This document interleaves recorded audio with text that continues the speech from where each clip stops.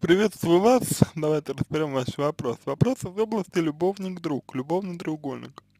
Есть друг пост-любовник, с которым 10 лет все было сложно, с которым договорились остаться в близких дружеских отношениях и тому подобное. Естественно, эта игра не на равных, сейчас больше я страдаю, так как он женат, хотя раньше были противоположны наоборот, он по мне сдох, я по нему нет. С одной стороны, оба понимают ситуацию, хотят остаться просто в хороших отношениях, но я сама ощущаю, как и любой зависящий, какую-то обиду, претензию, беспокойство.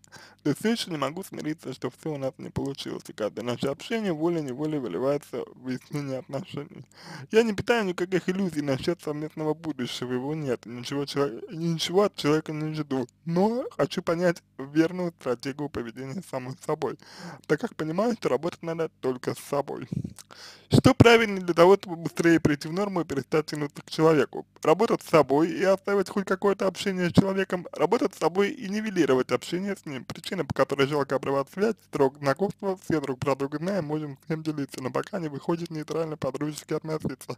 Остаюсь не до друг, не до любовницы.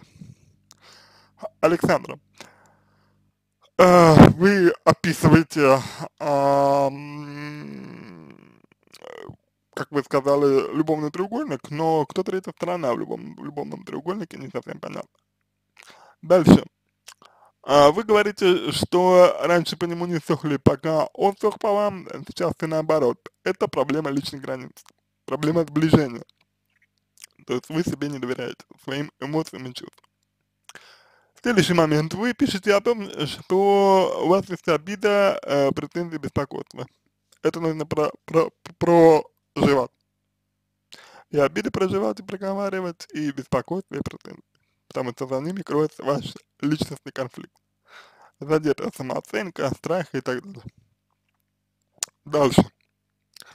А, при зависимости рекомендуется общение нивелировать полностью. Выход из зависимости процесс довольно длительный. А, работать над собой я не очень понимаю, что вы имеете в виду под, под, под работать над собой. Работать над собой можно только с, псих, с психологом, если это эффективно, если это реально, реальная работа над собой, а не видимость. Вот. А, дальше вы пишете, э, срок знакомства, все друг про друга знаем, можем всем делиться. Это история про ваше недоверие себе. То есть вы, грубо говоря, нашли окошко, через которое можете как-то вот э, себя реализовывать. Вам страшно его потерять, потому что нигде больше реализоваться, реализоваться вы не можете. А, я имею в виду именно вот в контексте э, того состояния, да, того, э, которое вы испытываете с своим мужчиной. Вот. То есть необходимо это состояние выявить и э, научиться его получать другими способами, другими путями. Вот. Ну и да, как сказал мой коллега Кудряшов Игорь Леонидович, очень важно увидеть, каким образом вы оказались в таких отношениях. И, собственно, третий, а, где третий мужчина, то есть второй мужчина, мужчина, где третье лицо. Почему треугольник-то, если вы описываете только себя и друга любовника?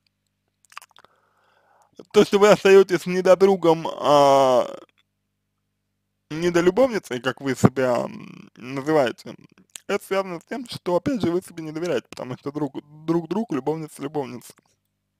И там, и там нужно признать ответственность. Вот.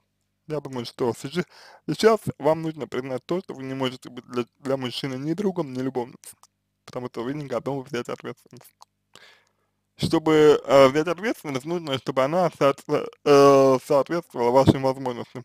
Она не соответствует. Вот. Такие дела. На этом все. Буду благодарен за обратную связь по моему ответу. Это позволит вам начать работу над собой. Если третье лицо все-таки существует, то рекомендую также э, в интернете найти э, тему треугольник Карпмана. Я думаю, он вам поможет э, увидеть, в каком положении вы находитесь прямо сейчас.